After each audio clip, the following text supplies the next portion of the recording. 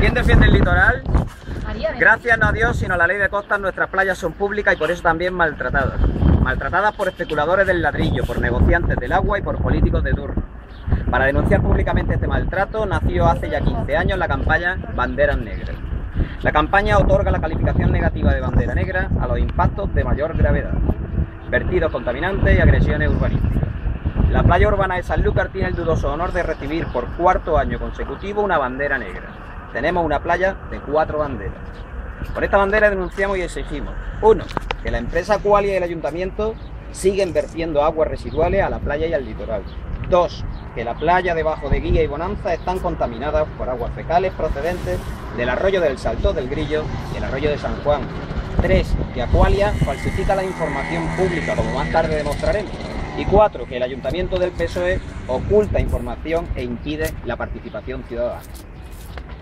Exigimos al ayuntamiento y a Aqualia que dejen de contaminar nuestra playa y nuestra agua. Exigimos al ayuntamiento un control independiente de la depuradora y a Aqualia el cumplimiento de la ley de acceso a la información y a la participación pública en materia de medio ambiente. Exigimos a la Consejería de Medio Ambiente que sancione a los responsables de los vertidos y finalmente hacemos un llamamiento a los ciudadanos para que denuncien también esta situación y por otra parte a los usuarios de la playa para que colaboren en su limpieza llevando la basura a los contenedores más próximos respetando del litoral. Muchas gracias. Bueno, en, el- en la raya este, el eje horizontal, se representan las muestras, que esto es 2011, muestras del agua ya depurada, presuntamente, eh, de 2011 y 2012. Son muestras que ha tomado la Consejería de Medio Ambiente del agua que ya sale de la depuradora y, y debe estar depurada. ¿no? En este eje vertical se representa la medida de depuración que tiene, de contaminación, mejor dicho. Esta demanda biológica de oxígeno es un índice de contaminación orgánica de las aguas residuales urbanas típicamente, ¿no? Eh, esta línea verde representa el máximo. La línea verde se puede sobrepasar solamente aproximadamente en un 5% de las muestras, legalmente.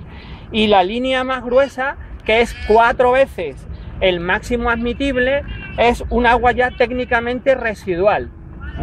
La línea negra representa cómo ha evolucionado la calidad del agua que sale de la depuradora.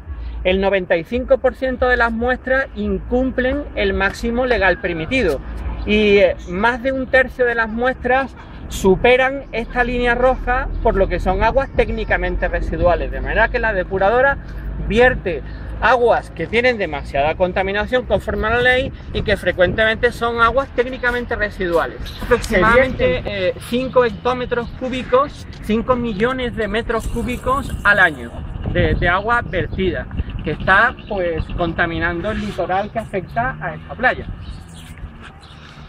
Y por otra parte, gracias. No, no es necesario. Esta gráfica representa igualmente las muestras eh, de 2011 y 2012 y aquí la misma medida de contaminación, pero ahora se comparan.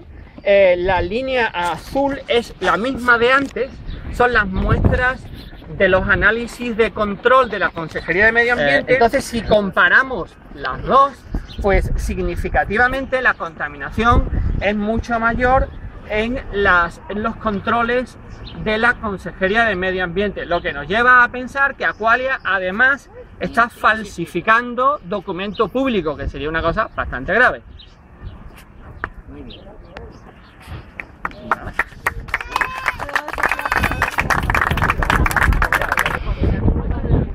Ahí, ahí, que se vea ahí. Lo que le anda al pueblo. Y es que de lo que pagamos real